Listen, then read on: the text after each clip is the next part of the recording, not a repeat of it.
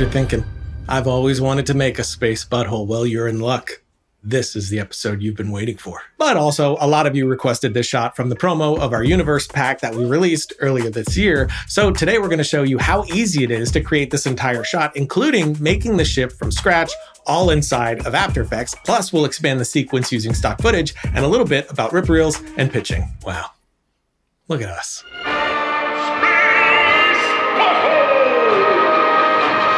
So the first thing we're going to do is grab one of the planet environment assets from our universe pack. We'll drop this into a new comp, then we'll make it a 3D layer and create a new camera choosing 24 millimeter. We're choosing this wider lens to give more distortion on the 3D layer when tilting or panning the camera. Though for our shot, we just want very subtle motion, so we'll keyframe orientation at the start and end of the timeline to give us this movement which will follow our descending spaceship. After that, we'll scale up the planet to fill the screen throughout the shot. And I will say off the bat, our Is our partner for today's episode, and if you have that, you have access to a ton of great Planet assets there as well, including some with motion that would work great as a starting point. But this shot is another one done by the insanely talented Ryan Thompson, so I can say that this looks badass. And the thing that shocked me most is that he made the ship from scratch using Element 3D, which is insane to me. But for the spaceship, we wanted a simple geometric shape, partly inspired by the Heighliner ship we see in Dune, but also inspired by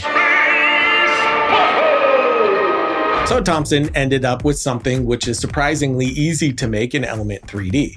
On a new solid, we'll add element and jump inside. Now we'll create a torus model, rotate forward, and stretch the Y scale to create a chamber.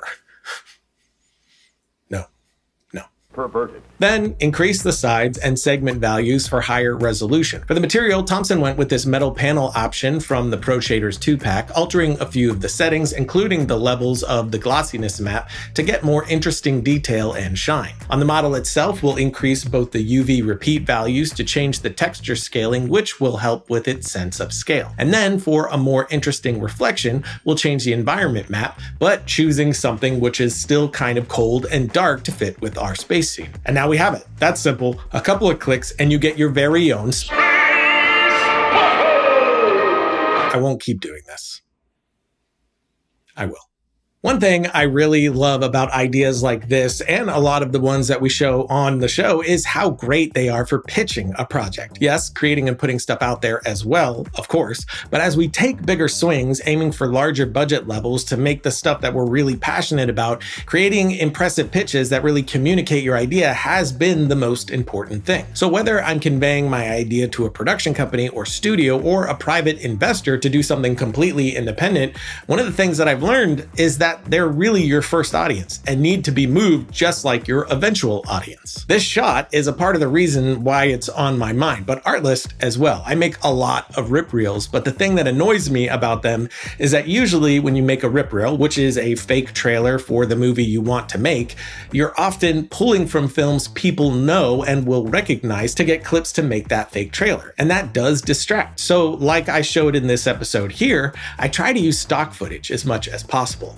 And I have made full rip reels that I did pitch that were made with just Artlist stock footage, music, and sound effects. Obviously, we use it weekly for the show as well, but using it for pitches has been one of the biggest uses for me recently, including a lot of their AI, which I think I use differently than most, but I'll come back to that. For now, let's get back to the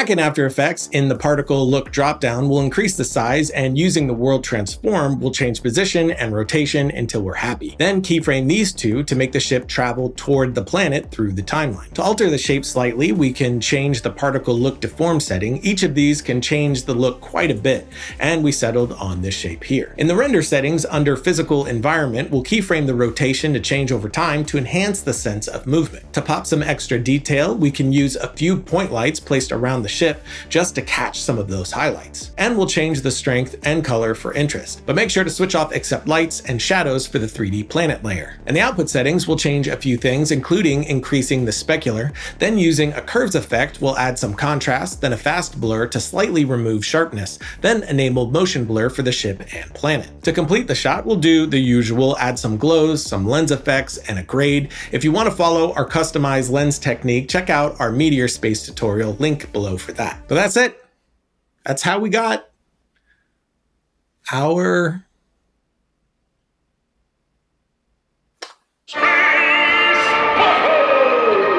And like I mentioned before, it's pretty easy to alter these types of shots with different planet environments, sometimes changing light, color, and position to closer match the planet of choice, as well as altering reflection rotation. But for the rest of this sequence, we grabbed different clips from Artlist we could place the ship into.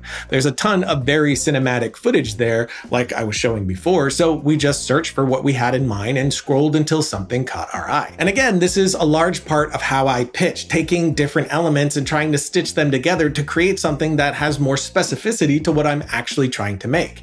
And these AI tools here are helpful for that as well. Now, for me personally, I don't use generative AI like this for my final product, but I do find AI very helpful for the behind the scenes pitch side of things. And it's for the reason I've said plenty of times on the show before. When anyone does a pitch with a rip reel, you're collecting images from existing works to convey this new idea through your deck and clips from other films for your reel. But it's hard to get specific and people get distracted by what they recognize. And if they hate the film that you're pulling from, there's a chance they're going to be affected by that whether they know it or not. So when stock footage works, it's great, but things like text to image and image to video let you get some very specific touches in there. Like say I need a cow plenty of footage for that, but a blue cow and reading glasses would be harder to find. But now we have it. Then we could feed this image to the image to video and we have motion for our rip reel. Then if I need some quick voiceover, instead of me doing distractingly bad movie guy voice, you can grab this here and... Oh, wow. That is a Obviously, that's a ridiculous example, but I have been able to get shots done in this same way into pitches that have really helped convey what I wanted to then go make for real. It's just funny to me that while I do use Artlist on pretty much every Film Riot episode, where it has helped the most for me lately is pitch materials that only a few people will ever see. But these different shots of our ship flying is another great example. We're taking stock video and transforming it with our unique element. In this case, this I've done plenty of comping on shots too, removing something I didn't want where the rest of the shot was perfect, adding in simple 2D elements like snow or rain. Just throwing that in sometimes is enough to help merge them into your lane. I've even comped an actor from one film into another one that they weren't in just to try to keep clear character continuity. It's interesting how much work you need to put into making the pitch for the thing that you want to go make. But say we wanted our ship in these different scenes. First, we're going to 3D track the footage, then copy and paste the element spaceship over, changing the size, position, and rotation to match the new camera and angle before keyframing a new animation. For this type of ship and size, we just want slow, purposeful movements. Then to match the reflections, add the base footage as a custom layers texture map, then inside element replace the existing map with the custom layer. Again, changing the rotation values to best match the scene layout, and animate to show extra motion. You can also alter the environment UV repeat to add more visual information to the reflections, as well as changing the gamma and exposure values, which can make it pop, especially in darker scenes. If the footage has some volumetric fog or haze, you can match this with the fog render settings,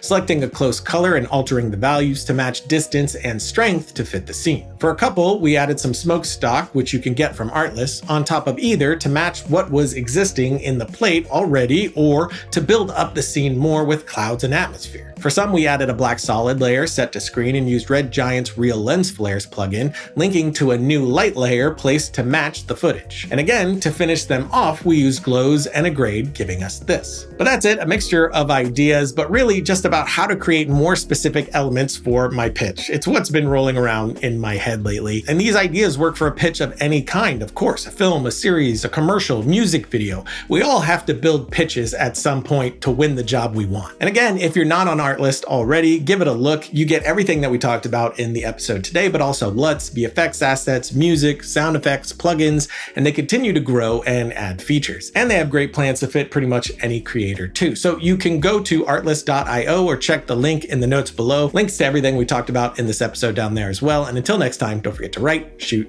edit, repeat.